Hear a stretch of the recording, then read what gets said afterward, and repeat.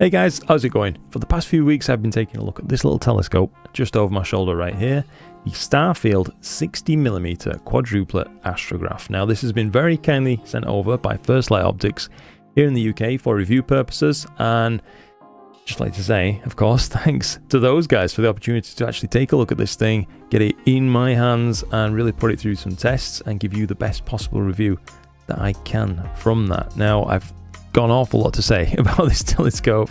So, but before we really get into that, I obviously want to take you through any disclosures or anything like that. Thankfully, there isn't really much to say, but I'm going to say it all anyway for the sake of complete transparency. Now, First Light Optics have a total hands-off review policy, which is in complete alignment with my own review policies, which I always adhere to on this channel. So it was a, just a natural fit. Yeah, all that really means is that I've got complete creative control freedom over what I do, what I say, how I test, and things like that. I can just do whatever I need to do, basically, to give you guys the best review that I possibly can. Um, further than that, anyway, I have an affiliate link for this thing, but other than that, I'm not receiving any money or anything like that. I still have to send the telescope back when I'm done with the review period, and uh, that is about it. So, all that said, let's get on with the review itself. So straight away, the first thing you're greeted by when opening the box is the case that it comes with. It's a transport case, and I do believe that claim as well that it's a true transport case rather than just a around the house kind of storage case. I think it would serve well for actually taking the scope out in the field and keeping everything protected. Uh, it's a zipped up body, it's got a hard foam insert, which is also, I imagine, user modifiable to a degree. If there's extra dead space you'd like to use by cutting out your own inserts, I'm sure that that would be totally possible. Uh, but as it stands, it has room for the telescope and room for a camera and also a couple of other little gaps here and there that you could perhaps use for yourself. Um, the scope on its own actually is a 60mm f5 quadruplet astrograph using FPL 53 glass. That's great news in terms of color correction, and I can tell you as well that it does stand up to what you would expect from FPL 53. It performs really well. I've got a lot more to say about this later and some images to back it up too from testing that I performed. Next up, let's talk about the focuser itself. It's a very high quality unit, I think. Uh, I was really impressed by it. My only gripe, I'll talk about that first, is the fact that the locking bolt on the underside has the potential to move the focus point ever so slightly. Now, I say it's a minor gripe uh, because I haven't actually felt the need to use the locking bolt at any point. There's enough natural tension in the focus that it can support even a quite a heavy load, a mono camera, filter wheel, um, and all the associated parts that that comes with, with absolutely no problem whatsoever, you know, uh, even when facing right up towards zenith but still, it's something I noted, so I think it's worth mentioning. Um, other than that, the focuser actually has a very limited travel, which is absolutely acceptable for an astrograph because you don't need tons of travel. Um, but I just wanted to make you aware of that in case you were thinking of maybe purchasing this as kind of a double duty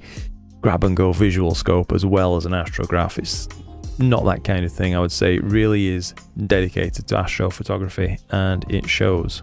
Screwed into the back of the focuser itself is a threaded insert which actually terminates in an M48 male thread for attaching all your common accessories or your camera things like that directly if you should wish. Um, but a cool thing about this is if you screw it actually out, you can fit into the back of it a two inch threaded filter. So you've no need to actually purchase, you know, a separate filter drawer or anything like that. And I think this could be really useful if you want to use this telescope with something like a DSLR, which has a limited amount of back focus available to it anyway. You can simply use that to thread a filter in, pop your DSLR on its T-ring and, uh, you know, pop it straight on and away you go. No extra accessories needed. So that was a, a welcome feature to see. Now next up at the back of the scope, going slightly further forwards, is a camera angle rotator, which is included. It's got a really nice feel of natural tension to it once it's backed off. You're not going to kind of overshoot by it being too slack or anything like that.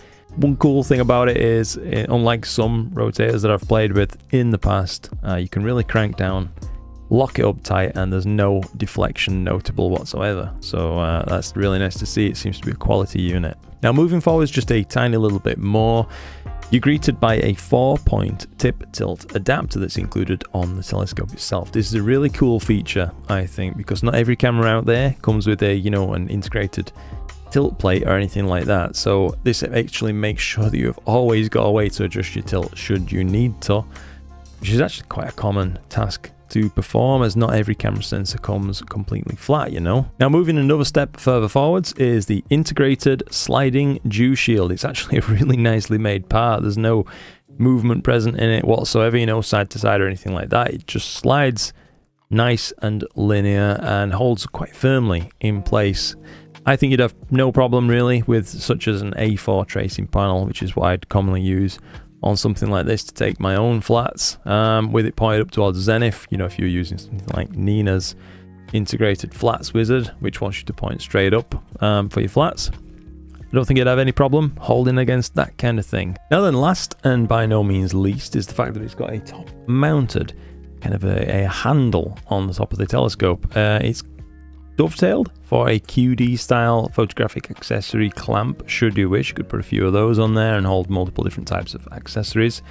It's got some threaded holes in there and also some slots too, which are great for passing things like pull ties around and getting excess cabling out of the way. That's nice to see. Now, as you look at the telescope from the back on your left hand side, as you can see where I've got the finder mounted, is a finder shoe, one of the kind of universal style ones. Um, and over on the right hand side of the telescope, again, when viewed from the back, are a pair of blanking screws, which you could mount another of those finder shoes on, should you wish, for holding something like an ASI Air or a similar kind of thing.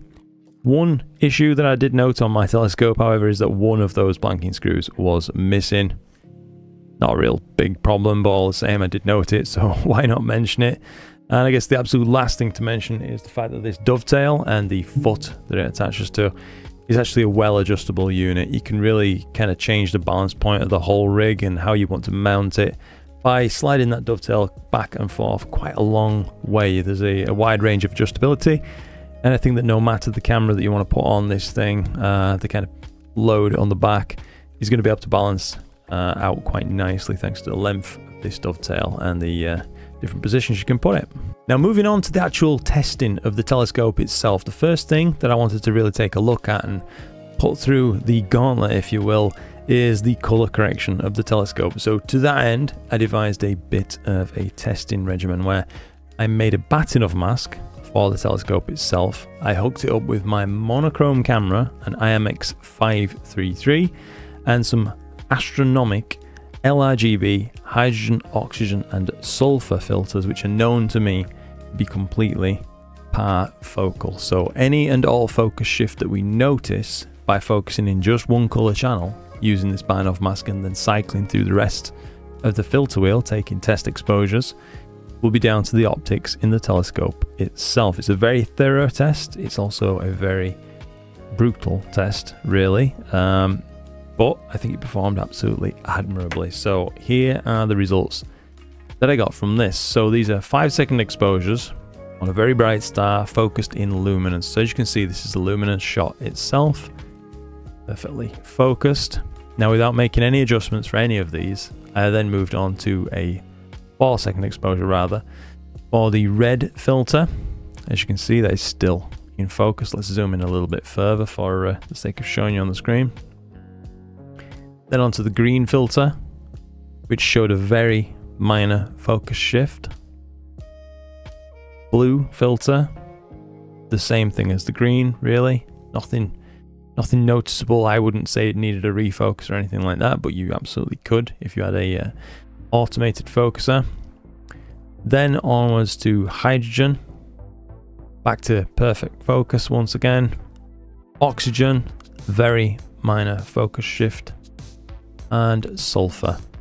Again, back to perfect it looks. Now, I also did a Bahtinov test with a one-shot color camera and uh, a rich star field. So I did this uh, with the APS-C sized sensor that I have, IMX571 uh, sensor. I did this in order to check the field flatness. So with a star, or rather stars, focused smack in the center of the field of view, I wanted then to look around the rest of the field of view and sure enough in the extreme corners There is no defocus visible, and that indicates to us that the field on this telescope is extremely flat. Indeed, it's a really, really promising performance, to be quite honest with you, is that. Uh, so I was uh, very impressed, indeed. As you can see, each and every corner properly focused. Really flat field, great to see.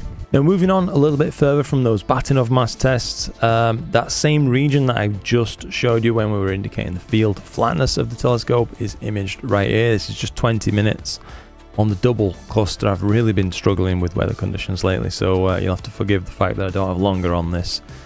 But all the same, it's a valid test. It's just a star field. As you can see, there's the center sharpness when zoomed into 100%, let's say, for sake of uh, comparison right here.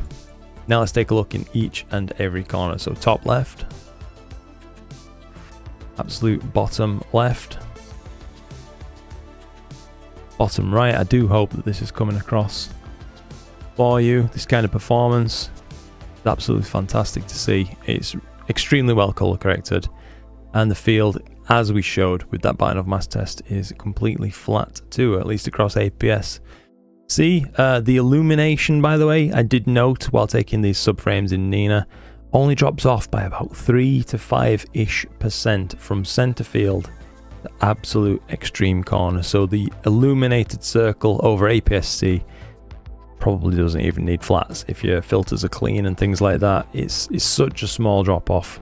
Um, extremely impressive, I thought. Now, before I took off the monochrome camera, I got the best image I've taken with this thing, uh, and it was 2 hours and 20 minutes or so effort on the Heart Nebula. Now let's take a look at the data individually. So this was the HA, this is just stacked and stretched as viewed in ASI Fits Viewer, so no processing whatsoever, just stacked. Oxygen 3, and sulfur 2, hopefully you can see it's a beautifully sharp telescope uh, everywhere in there is coming up wonderfully well. So down at the fish head, let's say, let's just take another look once again. So sulfur, oxygen, and then the hydrogen alpha. Wonderful performance. Can't say enough good things about it really. Now moving a little bit further on, uh, I wanted to show you a completed image from this thing. So again, the Heart Nebula data that we were just looking at, it only totals up to about two hours and 20 minutes or something like that. It wasn't much anyway. Um, but when fully processed, I was able to take a few snippets out of it. So this is the Fish Head Nebula from the extreme bottom right, as you can see. Really nicely resolved details, a beautiful image in its own right. At least I think so. Uh, here is Melotte 15, looking really rather cool. And then the full frame that I actually captured using that IMX533 mono um, and those Astronomik filters. I'm really impressed, to be honest with you, just for a couple of hours, it's clearly showing, you know, it's, it's sharp, that speed is uh, is working well in its favor at F5 right there. And I think, you know, if you can get this from a couple of hours, proper project, something, you know, like 10, 20 hours or something like that would get you an absolutely astonishing set of images. So, uh, full marks from me, really. I've got to be honest with you. As far as performance goes, what it's intended for, exceptional. Uh, really impressive. Well then guys, as far as this review goes, I think that that wraps things up quite nicely for me. Um, I feel like I've done the best that I possibly can, given the weather situation that we've been experiencing especially, uh, to give you the best review that I can. And that's what it's really all about for me, just giving you facts as I can and the data to back it up. And uh, hopefully, the stuff that we just took a look at, those you know test images and also the processed final images, do illustrate the fact that this is a great telescope. Uh, it claims to be an astrograph, and at least from an astrophotographer's perspective, every test that I set up for it, you know, it performed extremely admirably. And um, the sharpness, the overall field illumination quality, the field flatness, and the color correction. There's nothing bad to be said. Do you know what I mean? It put in a great performance, and for whatever it's worth, I'd be willing to give it my recommendation uh, to anybody out there looking at this kind of telescope on the market. It should be, you know, you should be giving it some serious thought, I think.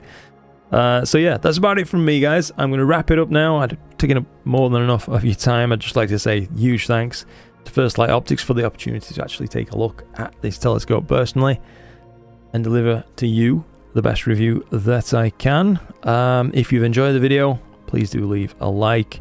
And on that note, by the way, in terms of thanks, uh, the real big thanks goes out to you guys out there, without which your support, uh, I wouldn't be in this position, getting things sent through for review, being able to do each day something that I love doing and make it my my job, my career, if you will. Uh, I'm very happy to be in this position, and I thank you.